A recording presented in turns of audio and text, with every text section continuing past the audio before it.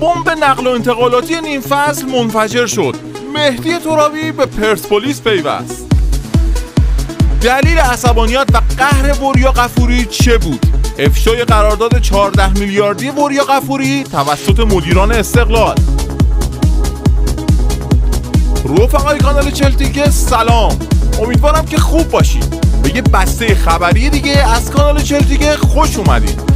در همین ابتدای کار ازتون تشکر کنم بابت کامنت های پرمهر و پر از لطفتون که به شدت باعث دلگرمی ماست و انگیزه ما رو چند برابر می‌کنه برای ادامه این راه. خیلی ممنون میشیم که سایر دوستانم ما رو به یه لایک شیرین مهمون کنن چون لایک ها و کامنت های شما مستقیما روی رشد کانال ما تاثیر می‌ذاره و به کمک شما ما می‌تونیم رشد بیشتر و بهتری در یوتیوب داشته باشیم. خب بریم برای مرور خبرهای داغ امروز.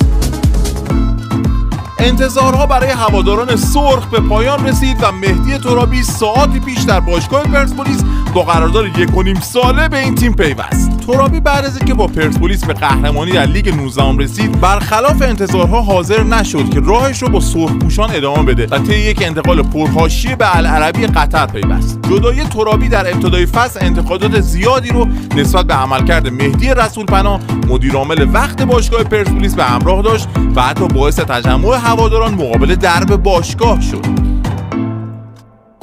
اما حالا مهدی ترابی بعد از گذراندن یک نیم فصل قطر و در شرایطی که با بهبود از مصومیتش دوباره به شرایط ایدئال برگشته از تیم قطری جدا شد و بلافاصله بعد از نشستن پروازش به ایران به باشگاه پرسپولیس رفت و قرارداد خودش رو ثبت کرد. تا بدون فوت وقت و در حالی که هنوز نیم فصل اول ایران به پایان نرسیده به تیم محبوب خودش برگرد. قرار هستش که مهدی ترابی از همین فردا در تمرینات پرسپولیس شرکت کنه و همچنین از هفته اول دور برگشت. یعنی بازی مقابل سایپا در 6 اسفند در صورت صلاح دید کادر فنی می‌تونه در ترکیب پرسپولیس حضور پیدا کنه. همچنین ابراهیم شکوری معاون باشگاه پرسپولیس که مسئولیت عقد قرارداد با مهدی ترابی رو بر عهده داشت در گفتگوی کوتاه در رابطه با این قرارداد اعلام کرد که مذاکرات ما در کمترین زمان صورت گرفت و با کمک خود مهدی مبلغ 15 هزار دلار که برای رضایتنامه توسط عده‌ای مطرح شده بود پرداخت نشد و مهدی بدون حق فسخ قرارداد به خانه خودش بازگشت. که این موضوع می‌تونه برای طرفداران پرسپولیس و البته تمام تیم‌های ایرانی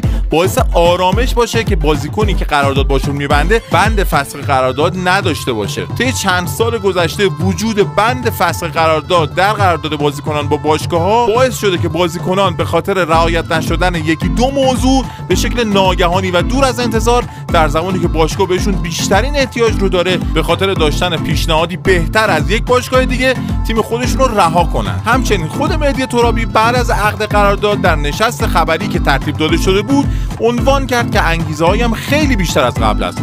چون به خاطر مصونیت و اتفاقاتی که افتاد نیم فصل چندان خوبی رو در باشگاه قطری سپری نکردم.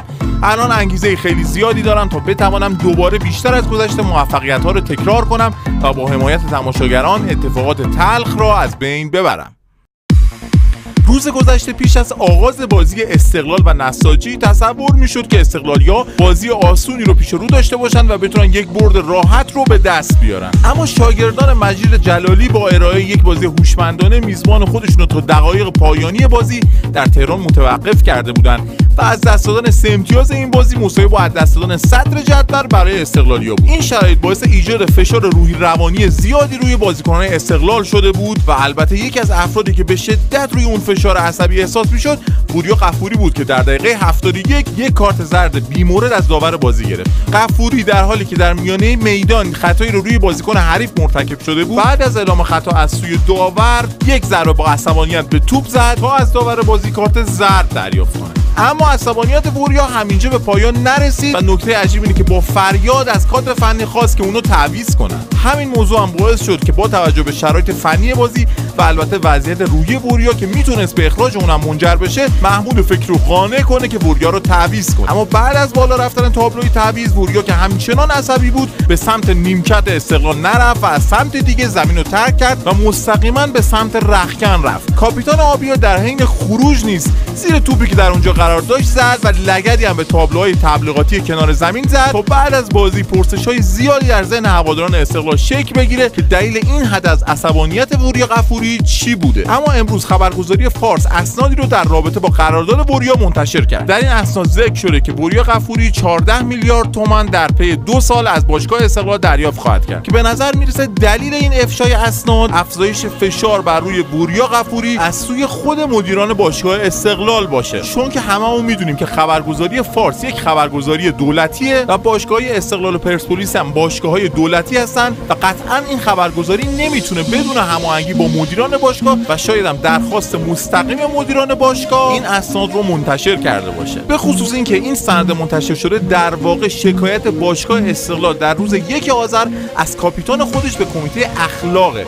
این شکایتنامه که به امضای احمد مددی مدیر عامل استقلال رسیده و خطاب به رئیس کمیته اخلاق نوشته شده ماجرای قرارداد جدیدی که وریا قفوری در ابتدای فصل با باشگاه استقلال امضا کرده رو شرح میده. در این نامه عنوان شده که قفوری با وجود داشتن قرارداد تا پایان لیگ بیستم قرارداد دو سالی رو در زمان مدیریت احمد سعادتمند با باشگاه استقلال امضا کرده که باعث افزایش قرارداد اون شده. طبق قرارداد قبلی وریا باید در این فصل دو میلیارد و 700 میلیون تومان از استقلال دستمزد می‌گرفته اما قرارداد اون به 6 میلیارد افزایش پیدا کرده.